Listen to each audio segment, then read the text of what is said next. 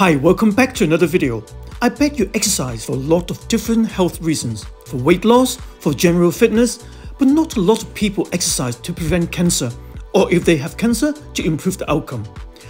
Well, according to the American Cancer Society guidelines on nutrition and physical activities for cancer prevention, getting more physical activities is associated with a lower risk of several types of cancers, including endometrial cancers, colorectal cancer, prostate, breast, lung cancer, ovarian cancer, gastric, and possibly pancreatic cancer.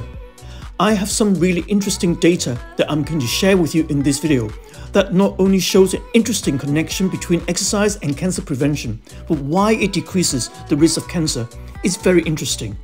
So watch till the end of this video and I will share with you how exercises can help to lower your risk of getting cancer. If you like this video and find this useful, please click the like button. Please leave your comments below and share this video.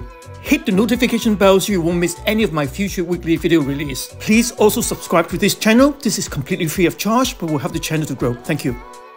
So let me share with you a couple of little basics before I explain to you why and how exercise helps to prevent cancer this is very complicated, but I will keep it simple. Number one thing you need to know is cancer occurs from a normal cell. And a normal cell obtains its energy through cellular respiration, which is a metabolic pathway that breaks down glucose and produces ATP using oxygen. This is aerobic glycolysis, the process by which cells use oxygen to help them convert glucose into energy. Cellular respiration takes place in the cytoplasm and mitochondria of each cell of the body. But cancer cells don't metabolize sugar the same way that healthy cells usually do. They use fermentation, which is done without oxygen, so it is anaerobic, which is much less efficient. This is because for various reasons, the mitochondria becomes dysfunctional in cancer cells, and then the cell flips its metabolism of glucose to the fermentation process, this is glycolysis without oxygen. So we have a normal cell that uses a lot of oxygen and a cancer cell that doesn't have to use oxygen at all. It ferments things. Now another difference between a normal cell and a cancer cell is that normal cells has a lot of mitochondria. In a cancer cell, the mitochondria are dysfunctional. They are either damaged or not working.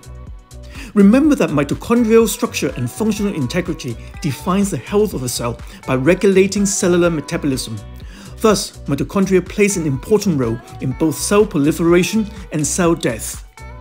As such, a normal cell has a limited lifespan, so it cannot live forever. And one way that the body does this is through something called apoptosis, which is a controlled cell death. So a normal cell cannot keep growing in cancer cells, however, they don't get the signal to create apoptosis, so they keep living on and on and on. A normal cell gets this trigger for apoptosis from a byproduct from the mitochondria, and it is a byproduct from using oxygen called ROS, that is a reactive oxygen species. Reactive oxygen species plays an important role in the process of apoptosis in many cell types. So, in cancer cells, the mitochondria are dysfunctional, and unlike a normal cell, you have a deficiency of ROS. So, put it really simply, the more oxygen that you can give to your cells, the more ROS or reactive oxygen species that you have to trigger apoptosis. This is why things that have low oxygen enhance cancer, like smoking, for example. You're also decreasing oxygen in the body, like an infection. Or in the case of inflammation, that is why cancers tend to invade areas of inflammation because there's less ROS to trigger apoptosis and it can grow more. This is another reason why cancer tends to grow in areas of old injuries too.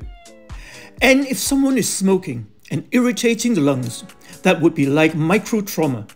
Now in chronic stress states, you have a lower amount of oxygen and also in a high glucose state. So if someone is a diabetic or maybe they are consuming a lot of carbohydrates or running on the bodies on sugar or carbs, that is a lower oxygen state than a state where they are burning ketones or your fats.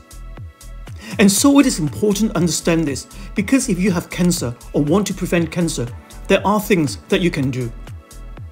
For instance, get on a ketogenic diet reduce consumption of your refined carbs such as dietary sugar. But the biggest thing that can increase oxygen and ROS is exercise. Exercise increases the oxygen 10 to 20 times and it can increase your ROS by 1000 times. So this is just another reason to exercise to prevent cancer. And again, if you have cancer, you should also be exercising. You are effectively flooding your body with oxygen. This is going to increase the byproduct ROS, which will help to create apoptosis to the cancer cells.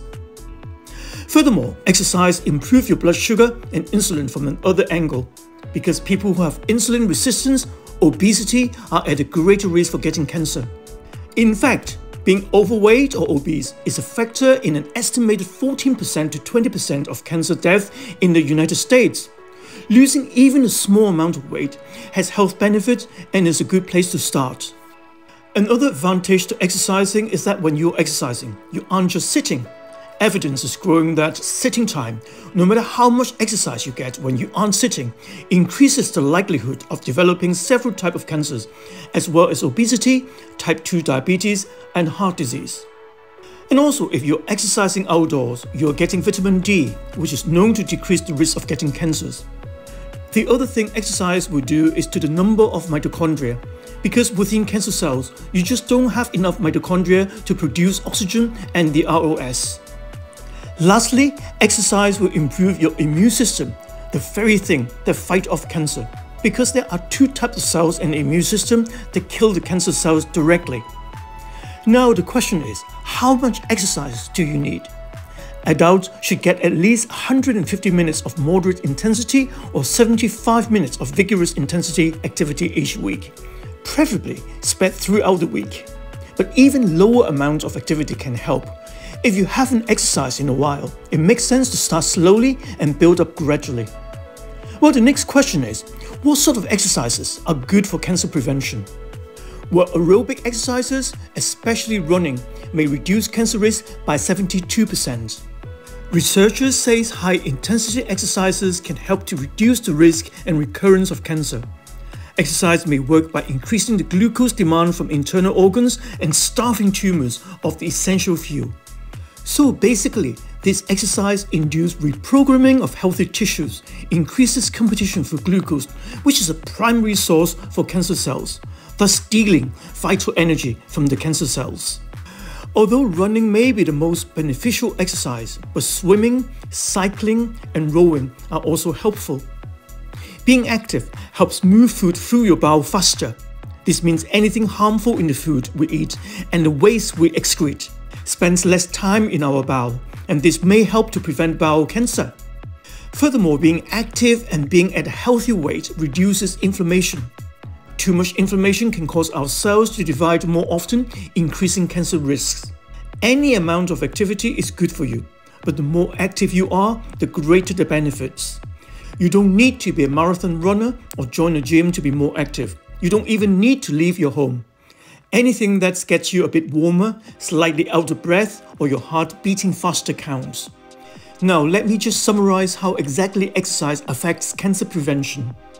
That includes exercise effects on reducing inflammation, helping to regulate blood sugar and sex hormones, and improving metabolism and immune function. Depending on the specific cancer, one or more of these mechanisms may be more important than others. So for breast cancer, for example, the benefits of exercise are really driven through the impact on sex hormones. It can also affect cancer development or risk through reducing obesity, which is a risk factor for many cancers. Well, I hope I have motivated you in this video to start exercising. If you have any questions as to how to get started, please leave the comments below. Until next week, take care. Thank you for watching until the end. If you like this video, please click the like button. Please leave your comments below and share this video. Hit the notification bell so you won't miss any of my future weekly video release. Please also subscribe to this channel. This is free of charge but will help the channel to grow. If you're interested in improving your health and fitness or losing weight, if you suffer from or wish to prevent back pain, please take a look at my book, which is now available from Amazon worldwide. Thank you.